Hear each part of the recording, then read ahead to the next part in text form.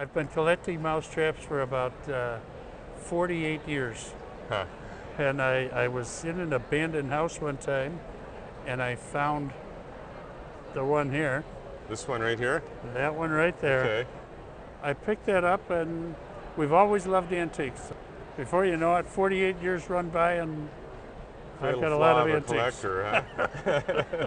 First of all, there's always kind of a race throughout history trying to design and perfect the perfect mousetrap. And so the very first one patented in America was, was patented in 1879 in New York.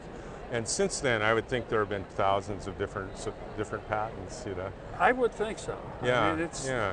Well, you brought a, a few really good fun ones here today. Um, you know, there's there's different methods of, of offing these poor mice. This is called the delusional mousetrap.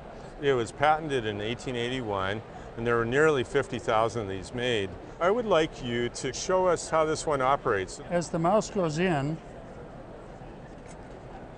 it would step onto that plate. And then it closes the door in the front. So therefore, the mouse then has an opening to go into the side room. Moving on over to this one, This would come and hook onto a small wire here, which is rusted. okay. Once he was on there, the bait would be hanging down in there. He'd touch the bait, this would go down. Then, I'm going to pull this back up so you can see it. You can see the hole through there. He would go into that hole and start on his treadmill. It's kind of the ultimate live trap. It's the most compassionate in that, that he's got a little exercise workout room there while he's in jail. Then you, you take him down the road and you put you let him go away from your There you home. go. And, and no gym membership. yeah, you got it. He's, he's buff when he's done. Um, over in here, this is a later patent. This one is from Germany, and this is from the 1960s, 70s. Yeah, As the mouse goes in, it's the same as the delusional in that he steps on that pad and it drops down.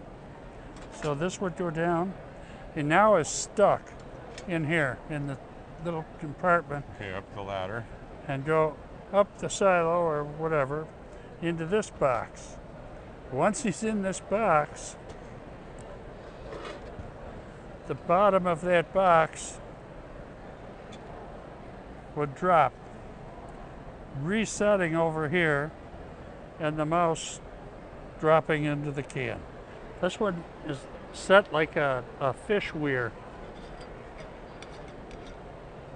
So it's a canning jar, and then this is soldered. The mouse goes in, and then at that point, he just can't get back out through the the Through the weirs. it's a weir point, trap. yeah. And then finally, we have this one, which we said earlier, which is actually a kill trap. And and each of these blocks, um, I guess they're a maple. They look to me to be a maple. I guess and, so. Mm-hmm. and I think they weigh maybe you know a pound or so each, somewhere in there. Right. Would you illustrate how you set that one off, please? Oh, here goes my finger. The mouse goes in. Down it goes. So the traps that we have in front of us here are valued at auction at one thousand five hundred dollars.